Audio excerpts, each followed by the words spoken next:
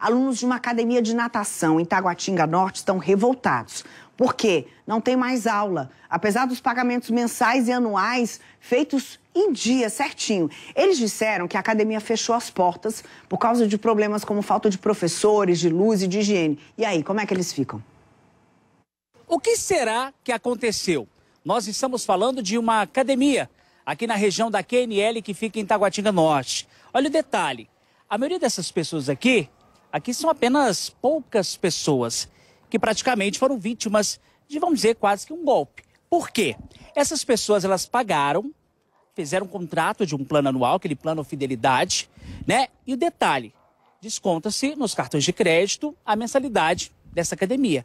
Mas só que da noite para o dia, a academia praticamente fechou as portas, deixou os clientes, os alunos lesados e até funcionários que ficaram aí, né, também no prejuízo. Vou conversar com um por um aqui para saber o detalhe de cada pessoa, de cada sofrimento. Você ficou também no prejuízo. Qual é o seu nome? Fiquei, Sônia. Sônia, como é que foi isso? É, foi inesperado, né? Ninguém, ninguém esperava por isso. O meu plano é vencer em, em maio Aliás, em junho eles fizeram renovar em maio. Renovei o plano e eles co cobraram duas mensalidades no mesmo mês. A senhora estava frequentando normalmente a hidroginástica?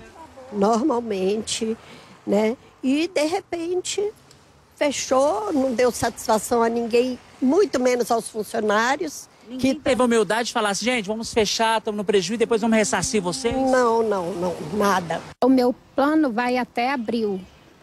E aí? E continua descontando o cartão? Sim. É difícil, né? Difícil. Vocês procuraram a polícia? Algumas pessoas é, fizeram já fizeram o boletim de ocorrência. Mas nada de resolver.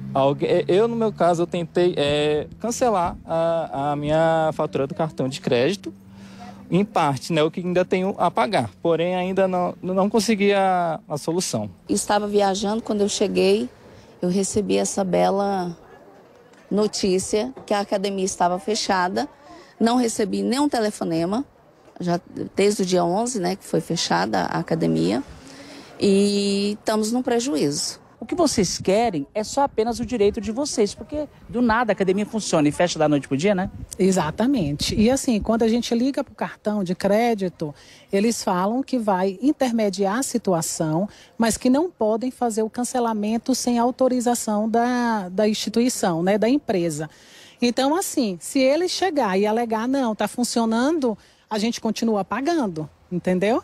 Então, o que a gente quer é que ele faça a rescisão de contrato, que entre em contato com as operadoras do cartão de crédito dos alunos e que a gente tenha o direito de receber pelo que é nosso. Nestes diversos prints de conversas entre os responsáveis pela academia e os clientes, é possível ver os mesmos falando que a empresa precisava fazer uma reunião com os funcionários para falar do momento de crise sobre os atrasos nos salários e também da possibilidade da volta da academia com uma outra direção. Essa advogada especialista em direito do consumidor diz que os alunos lesados pela academia contam com direitos e precisam buscar os órgãos competentes ou até mesmo a própria justiça para serem reparados de forma legal. Os alunos, se não conseguirem entrar em contato com a empresa, com os proprietários, eles devem procurar, é, podem procurar o PROCON, que ele tenta intermediar a situação e pode até, em alguns casos, aplicar multa, como podem também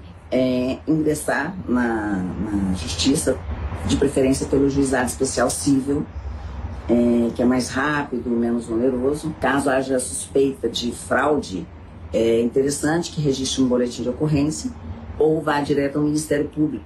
Para esse advogado, a maioria das empresas que fecham as portas não realizam os devidos pagamentos dos funcionários. Então, aquele empregado que dedicou tempo e trabalho, ele fica vulnerável em um momento tão difícil, porque ele não consegue sacar o FGTS que está depositado, ele não consegue se habilitar no seguro-desemprego e muitas vezes não recebe nem o saldo de salário daquele mês trabalhado. Então esse trabalhador ele tem a proteção legal, porque a legislação protege ele. E as empresas que descumprem as obrigações, que fecham as portas sem prestar contas, elas vão ser responsabilizadas judicialmente. Os administradores da academia informaram que as atividades voltarão ao normal. Elas vão voltar. Nós vamos seguir acompanhando a situação dos alunos, dos professores dessa academia e você fica ligado aqui com a gente.